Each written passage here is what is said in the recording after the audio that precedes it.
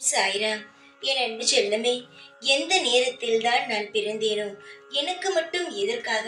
இப்படி வரிசையாக ஏதேதோ கவலைகள் வருகிறது. நானும் போகாத கோவில் கிடையாது ஏறாத கோவில்கள் கிடையாது செய்யாத பிரார்த்தனைகள் கிடையாது. அனைத்தையுமே நான் செய்து விட்டேன் இனி செய்வதற்கு ஒன்றுமே கிடையாது. ஆனால் என்னுடைய வாழ்க்கையில் எதற்காக இவ்வளவு கஷ்டங்கள் வந்தது? நான் என்ன அவ்வளவு பெரிய தவறு செய்துவிட்டேன் என்று நீ ஒவ்வொரு முறை தனியாக புலம்புகிறாய். நான் எந்த ராசியில்தான் பிறந்தேன்? எனக்கு புரியவே இல்லை. நான் பிறந்த ராசியில் எல்லாம் எல்லோரும் நன்றாகத்தானே இருக்கிறார்கள். என்னை மட்டும் எதற்காக இந்த தெய்வம் இவ்வளவு சோதிக்கிறது என்றெல்லாம் நீ மனம் திறந்து உனக்குள்ளே நீயே புலம்பிக் கொள்கிறாய். என்னுடைய தங்கமே நேரமோ காலமோ கிரகமோ உன்னை எதுவும் செய்யவில்லை. நீ பிறந்த பலன்தான் அப்படி. நான் என்ன சொல்ல வரி? உன்னுடைய போன ஜென்மத்தில் நீ செய்த கர்ம வினையால் தான் இப்பொழுது நீ இந்த வாழ்க்கையை வாழ்ந்து கொண்டு இருக்கிறாய். நான் இருப்பதினால்தான் இந்த அளவாவது உன்னால் வாழ முடிகிறது. நீ என்னுடைய பார்வையில் இருக்கும் பொழுது நீ இந்த அளவாவது வாழ்கிறேன் என்று நினைத்துக்கொள் தங்கமே. நான் சொல்வது உனக்கு இப்பொழுதெல்லாம் புரியவே புரியாது. ஆனால் காலப்போக்கில் நான் உன்னை எவ்வளவு காத்து வருகிறேன் என்பதை நீ மனதால் நிச்சயமாகவே புரிந்து கொள்வாய் நீ எதையுமே நினைக்காதே. வாழ்க்கை முழுவதும் உனக்காக நான் இருக்கிறேன் என்பதை மட்டும் நினைத்துக்கொள். நீ பிறந்த கிழமையோ பிறந்த ராசியோ உன்னை எந்த ஒரு விதமான தொந்தரவும் செய்யவில்லை. எல்லாம் கர்ம வினை செய்தபடியே நடந்து கொண்டு இருக்கிறது. உன்னோடு நான் இருக்கும் நேரத்தை உணர்ந்து கொள்ளும் நேரம் இது. சாதாரணமாக நினைக்காதே. உன் வாழ்க்கையை நான் நல்ல விதமாக கரை சேர்ப்பி உன்னுடைய காலம் இப்பொழுது எப்படி இருக்கிறது தெரியுமா? பலரால் கேவலப்படுத்தி இவள் வாழுவாளா?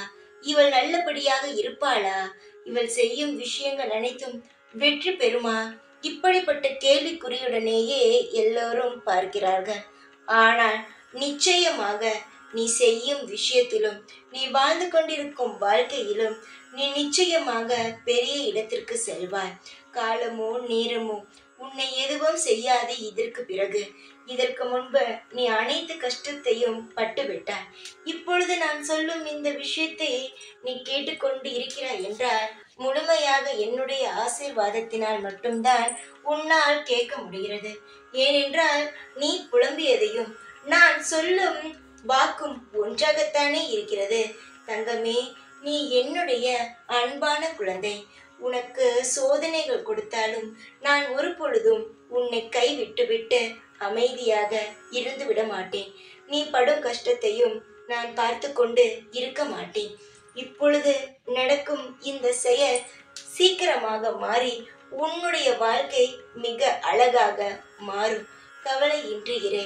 உனக்காக நான் இருந்து அனைத்து விஷயங்களையும் செய்து தருகிறேன் என்னுடைய செல்லமான குழந்தையே. உன்னை நீயே குறை கூறி கொள்ளாமல் நீயே சந்தோஷப்படு. நீ நன்றாகத்தான் இருக்கிறாய் என்று.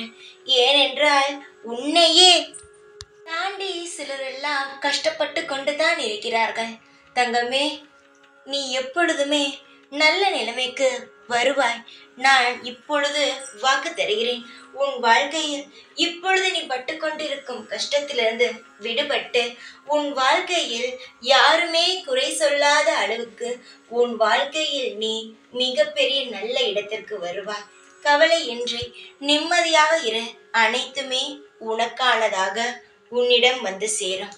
எதையுமே நினைக்காதே. நான் இருக்கிறேன் என்பதை மட்டும் ஞாபகம் வைத்துக்கொள். அதுவே உன்னை இன்னும் அதிகமாக சந்தோஷப்படுத்தும். எப்பொழுதும் உன் கூடவே இருப்பேன் இந்த சைனா ஓம் சாய்ராம்.